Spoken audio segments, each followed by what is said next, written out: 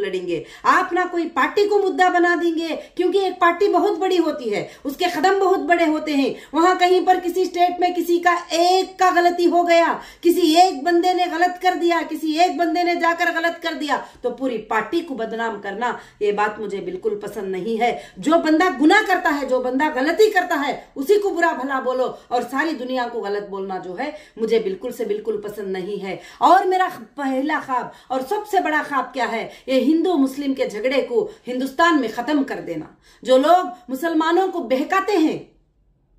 जो लोग मुसलमानों को बहकाते ही मुसलमानों हम नहीं तो तुम्हारी मदद नहीं होगी हम नहीं तो तुम लोगों को मार देंगे हम नहीं तो तुम नहीं तुम लोग मरवाते हो तुम लोग बातें करते हो इस तरह के कोई भी नहीं मार रहा है अगर तुम दो कॉन्स्टिट्यूशन में लोकसभा में जीतते हो तो क्या सारे कॉन्स्टिट्यूशन में जो लोग हैं क्या वो रोज मर रहे हैं वो भी आराम से जी रहे हैं ये सिर्फ बहकाया जाता है ये सिर्फ लड़ाई किया जाता है